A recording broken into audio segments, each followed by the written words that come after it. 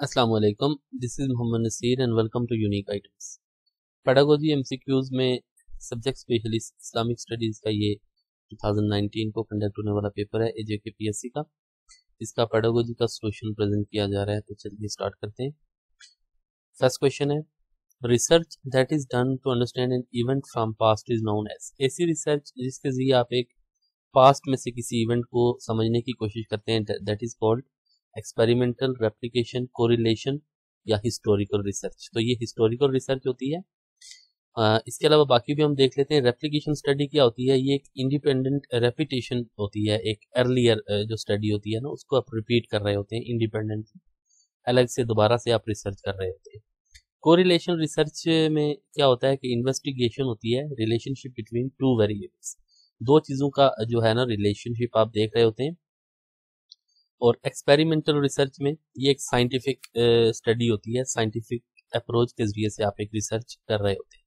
जबकि action research ये basically education की फ़ील्ड में ये इन्वॉल्व होती है और डे टू डे और ऑन द स्पॉट प्रॉब्लम्स को सॉल्व करने के लिए एक्शन रिसर्च यूज़ होती है। जबकि बेसिक रिसर्च थीरीज को डिवेल्प करने के लिए ये एक बुनियादी जो है ना न्यू नॉलेज को डिवेल्प करने के लिए ये एक रिसर्च की जाती है बेसिक रिसर्च नेक्स्ट है कि the process of drawing a sample from a population is known as population में से एक सैंपल को जब आप ड्रॉ करते हैं तो दैट इज़ कॉल्ड सैम्पलिंग तो सर्वे रिसर्च सैम्पलिंग सेंसेस तो ये डिफरेंट ऑप्शन दिए गए ये क्वांटिटेटिव मेथड होता है to collect information about a pool of respondents तो मुख्तलिफ़ रिस्पॉन्डेंट से लोगों से आप जवाब ले रहे होते हैं तो ये सर्वे आप कर रहे होते हैं, सर्वे रिसर्च कराते हैं। जबकि सैम्पलिंग तो एक प्रोसेस होता है ना पॉपुलेशन में से आप एक सैंपल निकालते हैं जबकि सेंसस क्या है? ये मरदमशुमारी होती है बेसिकली जब लोगों को आप गिनते हैं उन, उनसे डिफरेंट इंफॉर्मेशन को आप कलेक्ट करते हैं। नेक्स्ट है कि measurement and evaluation can be use to measurement और इवेल्युएशन के ज़रिए आप motivate students assess the effectiveness of learning activities help develop the scope and sequence of teaching तो इसके ज़रिए से आप क्या करते हैं? सबसे जो इंपॉर्टेंट चीज़ है इसमें मेज़रमेंट और इवेल्युएशन के ज़रिए assess the effectiveness of learning activities learning activities की जो इफेक्टिवनेस है ना, यानी कितनी बेहतर आपने जो है ना लर्निंग एक्टिविटीज़ करवाई है, उसको ये देखा जाता है। इवेल्युएशन क्या है? जजमेंट है, यानी क्वालिटी को आप चेक कर रहे होते हैं, जबकि मेज़रमेंट में आप नंबर्स निकाल रहे होते हैं size weight force length amount किसी चीज़ की आप देख रहे होते हैं तो ये मेज़रमेंट कहलाता है।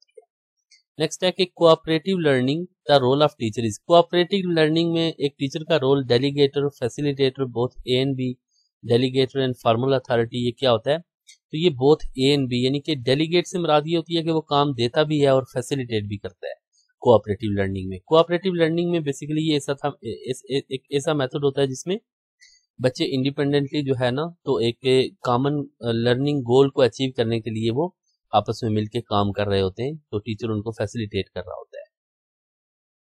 नेक्स्ट है कि education psychology is the study of education psychology mental illness intelligence test learners learning and teaching cognitive process तो ये देखें बाकी चीज़ें तो बहुत ही लिमिटेड आ जाती हैं, जैसे cognitive process intelligent test mental illness ये चीज़ें भी इसमें स्टडीज़ ज़रूर की जाती हैं, लेकिन लर्नर्स लर्निंग एंड टीचिंग इस चीज़ को जो है ना एजुकेशन साइकोलॉजी ये ज़्यादा देखती है।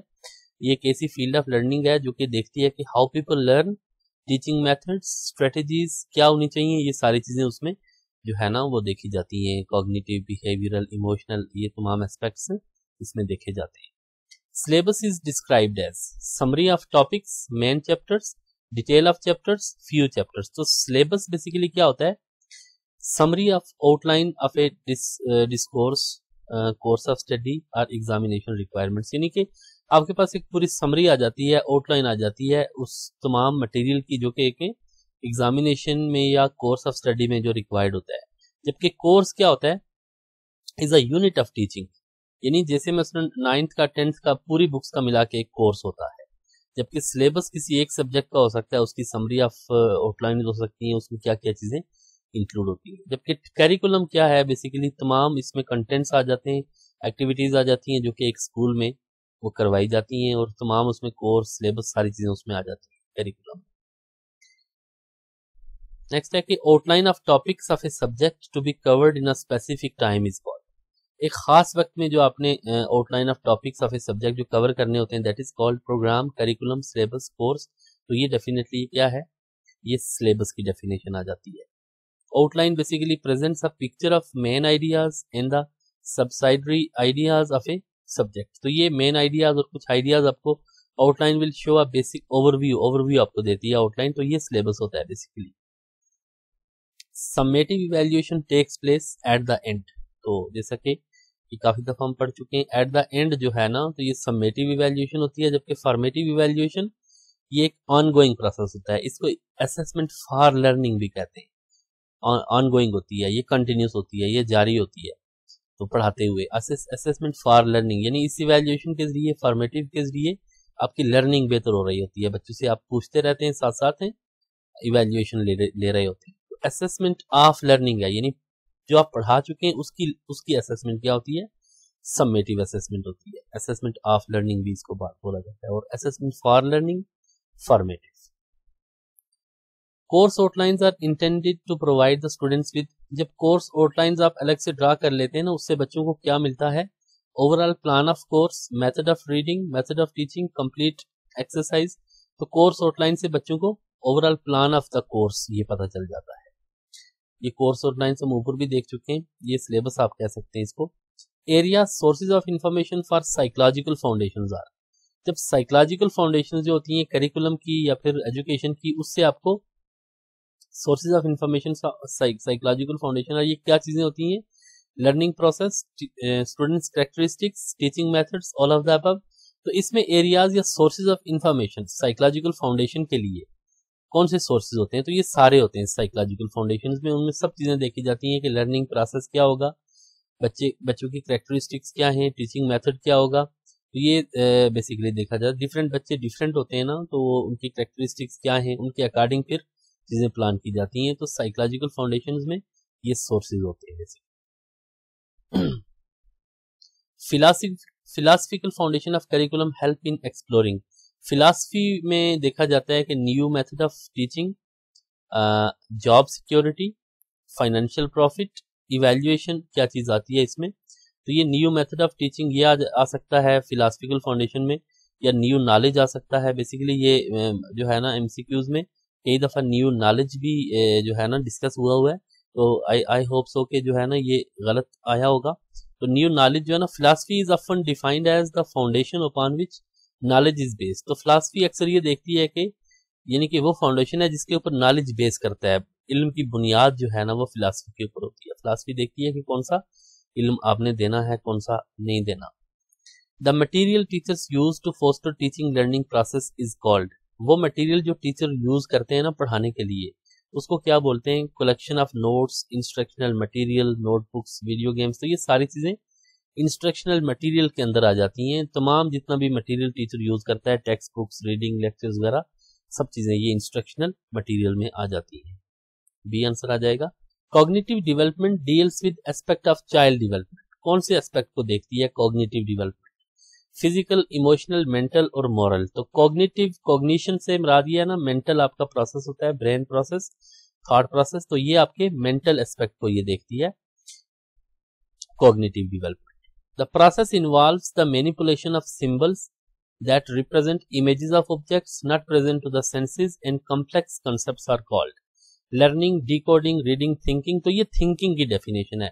यानी ये थिंकिंग एक ऐसा प्रोसेस होता है जिसमें आप क्या करते हैं सिंबल्स को मैनिपुलेट करते हैं that represent images of objects not present to the senses senses में वो प्रेजेंट नहीं होती हैं वो सिंबल्स को आप मैनिपुलेट करते हैं उनको समझते हैं कॉम्प्लेक्स कंसेप्ट क्रिएट होते रहते हैं। ये थिंकिंग की डेफिनेशन है। थिंकिंग या cognition refers to mental manipulation of images words, rules, symbols and uh, percepts. It involves attention, pattern, recognition. ये सिंबल की डेफिनेशन थिंकिंग की डेफिनेशन है। जबकि लर्निंग क्या है? ऊपर जो ऑप्शन दिए गए learning basically process leads to change which occurs as result of experience experience के थ्रू जो है ना, आप जब चीज़ सीखते हैं चेंज आती है आपके अंदर। डिकोडिंग क्या होता है? एक कोड को आप प्लेन टेक्स्ट में जब आप ट्रांसलेट करते हैं ना, उसको समझते हैं तो ये डिकोडिंग एक चीज़ को कोडिड होती है, कोई चीज़ उसको डिकोड करते हैं आप। जबकि रीडिंग तो एक लेटर सिंबल्स एक्सेट्रा के ज़रिए आप क्या करते हैं, किसी चीज़ का सेंस आप बनाते हैं। चाहे आप साइट के ज़रिए या टच के ज़रिए उसको आप पढ़ते हैं ओरली भी आप पढ़ते हैं, ये रीडिंग अलग चीज़ है, ये डेफिनेशन डिफरेंट मैंने दे दी है यहाँ पे। The function of management that deals with establishment of formal structure of authorities called management का वो फ़ंक्शन जिसके थ्रू आप क्या करते हैं कि formal structure of authority develop होता है, वो क्या कहलाता है? प्लानिंग स्टाफिंग ऑर्गेनाइजिंग डायरेक्टिंग इनमें से कौन सा जो है ना मैनेजमेंट का फ़ंक्शन है? जिसमें फॉर्मल स्ट्रक्चर बनता है अथॉरिटी का। यानी कि अथॉरिटी के स्ट्रक्चर से मुराद है ना कि जो टॉप पे बैठता है, फ़र्ज़ सीईओ बैठता है, उसके नीचे जितने भी ऑफिसर्स होते हैं, और बिल्कुल एंड तक फिर वर्कर तक वो जाता है एक स्ट्रक्चर अथॉरिटी का। तो ये क्या है? दैट इज़ कॉल्ड ऑर्गेनाइजिंग अब देखें ऑर्गेनाइजिंग में क्या करते हैं आप कि एक relationship among selected works persons and places in order for the group to work together efficiently ये फिर डिवाइड कर देते हैं आप अपने अपने उनके टास्क को। तो ये एक स्ट्रक्चर आप बना देते हैं अथॉरिटी का इफ़ेक्टिव अथॉरिटी आप रिलेशनशिप यानी कि आप ये देखते हैं कि मैनेजर कौन आ, कौन होगा। जैसे मसलन अगर स्कूल की बात करें तो फ़र्ज़ करते हैं एक डिवीज़न के लेवल पे एक डिवीजनल डायरेक्टर होगा फिर डीईओ होगा फिर एईओ होगा फिर स्कूल में प्रिंसिपल्स होते हैं वाइस प्रिंसिपल्स होते हैं सेक्शन हेड्स होते हैं। ये स्ट्रक्चर ऑफ़ अथॉरिटी होता है। जबकि स्टाफिंग से मरादी होती है ना कि लोगों को आप भर्ती करते हैं, उनको ट्रेनिंग देते हैं इम्प्लाइज को काम के लिए आप जब ऑर्गेनाइजेशन में उनको लेते हैं तो ये स्टाफिंग होता है। डायरेक्टिंग से मरादी होती है ना, उनको आप इंस्ट्रक्शन देते हैं, हदायत देते हैं। तो ये आप डेफिनेशन भी यहाँ से देख सकते हैं। जबकि प्लानिंग क्या होता है? Process of thinking regarding the activities required to achieve desired goal यानी कि एक गोल को अचीव करने के लिए आपको एक्टिविटीज़ तमाम वो प्लान करते हैं। Execution of policy within the limits establish by administration is responsibility of अब देखें, जो एडमिनिस्ट्रेशन जो है ना जो एक पॉलिसी बनाती है, उसको एग्जीक्यूट करना उस पर अमल दरामद करना, ये किसका काम होता है? एम्प्लॉय मैनेजमेंट लीडरशिप स्टाफ किसकी, ये मैनेजमेंट की ज़िम्मेदारी होती है। एडमिनिस्ट्रेशन बड़ी टर्म है मैनेजमेंट काम करवाती है आगे पॉलिसी को इम्प्लीमेंट करवाती है। मैनेजमेंट क्या है? डेफिनेशन भी देख लेते हैं हम। Process of planning decision making organizing leading motivation controlling the human resources financial physical तमाम चीज़ों को ये कोऑर्डिनेट करती है ताकि एफिशिएंट गोल्स को वो हासिल कर सके। इम्प्लॉय का मतलब होता है लोगों को हायर करना। और लीडरशिप क्या करती है बेसिकली ये लोगों को लीड करती है, उनको गाइड करती है, ठीक है? और स्टाफ तो ये ग्रुप ऑफ़ पीपल होता है जो ऑर्गेनाइजेशन में काम कर रहे होते हैं। तो यहाँ पे आप देख सकते हैं पॉलिसी को एग्जीक्यूट ये मैनेजमेंट करवाती है लोगों के ज़रिए से। तमाम रिसोर्सेज को यूज़ करते हुए। Measurement is the process of dash the performance measurement के ज़रिए आप क्या करते हैं? क्वालिफाई करते हैं क्वांटिफाई करते हैं। तो डेफिनेटली मेयरमेंट एक क्वांटिफाई करते हैं आप मेयरमेंट के ज़रिए ना? मेयरमेंट से आप क्या लेते हैं? नंबर देते हैं इंडिविजुअल्स को।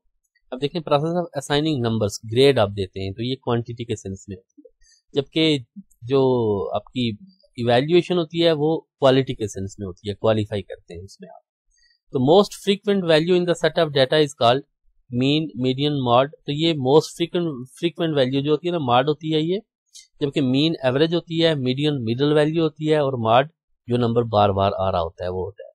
Top management work on top management किस पे काम करती है? ये स्ट्रेटेजिक प्लान पे करती है। जबकि बजटिंग कारपोरेशन प्लान और ये क्या चीज़ें होती हैं? टॉप मैनेजमेंट जो है ना तो ये स्टेब्लिशिंग पॉलिसीज़ यानी कि स्ट्रेटेजीज जो है ना पॉलिसीज़ वो बनाती है। स्ट्रेटेजिक प्लान क्या होता है?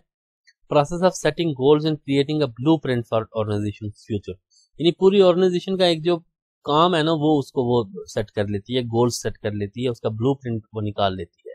बजटिंग तो होता है ना कि अपने पैसे कहाँ से हासिल करने और खर्च कैसे करने, ये तमाम जो प्रोसेस होता है। जबकि कारपोरेट स्ट्रेटेजी क्या होती है? टू आर मोर फर्म्स जब एक या एक से ज़्यादा फर्म्स डिफरेंट कंपनीज़ आपस में वो कोऑपरेट करती हैं, ताकि फिर उनका कॉमन पर्पज अचीव हो सके, ये कोऑपरेटिव स्ट्रेटेजी होती है। ये नेक्स्ट है कि the communication process is made up of various components which of the following is actual product from the from the source communication के बाद आपका प्रोडक्ट क्या होता है? Feedback channel filter message communication के बाद डेफिनेटली आपका प्रोडक्ट क्या होता है? मैसेज जो है ना, वो आपका प्रोडक्ट होता है। तो बाकी चीज़ें क्या होती हैं? कम्युनिकेशन तो एक प्रोसेस फीडबैक क्या होता है? जब आपको मैसेज के बाद आप, क्या करते हैं? यानी कि रिस्पांस फ्रॉम द रिसीवर जो जो आपने मैसेज दिया होता है, उसके ऊपर जो रिस्पांस आता है ना, जवाब आता है, वो फीडबैक कहलाता है। जबकि चैनल क्या होता है? यानी वो मीडियम होता है जिसके ज़रिए आप कम्युनिकेशन करते हैं, चाहे वायर है, चाहे मोबाइल कम्युनिकेशन है या जो भी तरीकाकार है। मैसेज क्या होता है? वो चीज़ होती है जो आप कम्युनिकेशन के ज़रिए से आप भेजते हैं। वो इंफॉर्मेशन होती है जो आप आगे ट्रांसफ़र करते हैं। T Q M refers to T Q M क्या होता है? That is called total quality management T Q ये क्या है? Basically describes a management approach to long term success through customer satisfaction यानी कि इसमें टीक्यूएम में देखा जाता है कि कस्टमर की सेटिस्फेक्शन कैसे होती है। ये टोटल क्वालिटी मैनेजमेंट में की जाती है।